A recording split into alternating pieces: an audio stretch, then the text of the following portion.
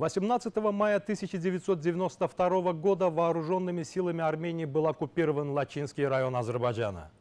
Лачин не избежал горькой участи, постигшей другие районы Азербайджана, захваченные в ходе Первой Карабахской войны.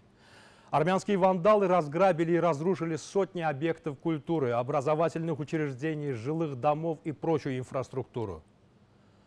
В целом, в результате оккупации Лачинскому району был нанесен ущерб в размере свыше 7 миллиардов долларов США.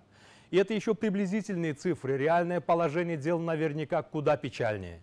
Вторая Карабахская война положила конец 28-летней оккупации Лачина.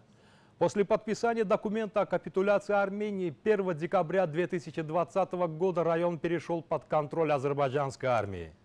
Незаконно размещенное на оккупированных территориях армянское население покинуло регион, поджигая дома и вырубая деревья.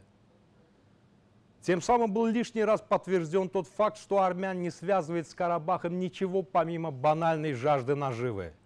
При желании Бердзором или Кашатагом можно обозвать любую приглянувшуюся землю, но от этого она не станет армянской ни на сантиметр. В Лачине предстоят масштабные восстановительные работы – в район вернется коренное население, которое будет жить в атмосфере полной безопасности и уверенности в завтрашнем дне. В совместном заявлении лидеров Азербайджана, Армении и России от 10 ноября имеется пункт, касающийся Лачинского коридора, который обеспечивает сообщение между Карабахом и Арменией. Как известно, в настоящее время этот коридор проходит через город Лачин и контролируется российскими миротворческими силами. Согласно документу, в предстоящие три года будет определен план строительства нового маршрута движения по коридору. После определения параметров нового коридора город Лачин будет возвращен под полный контроль Азербайджана. Это закономерные итоги осенней войны, попытки оспорить которые совершенно бесперспективны.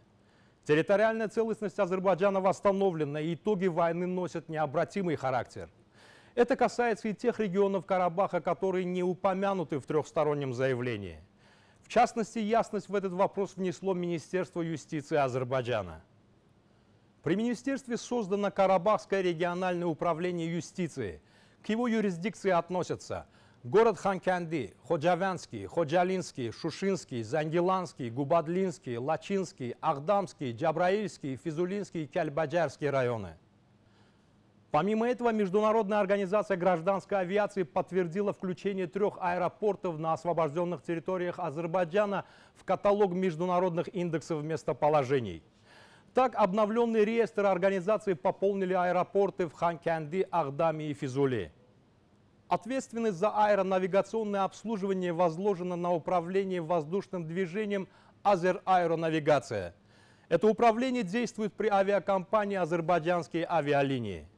Границы данной ответственности утверждены Советом Международной организации гражданской авиации и соответствуют суверенным территориям Азербайджанской республики. Иными словами, никаких пробелов нет. Все остальное лишь вопрос времени, которое, будьте уверены, вовсе не пущено на самотек.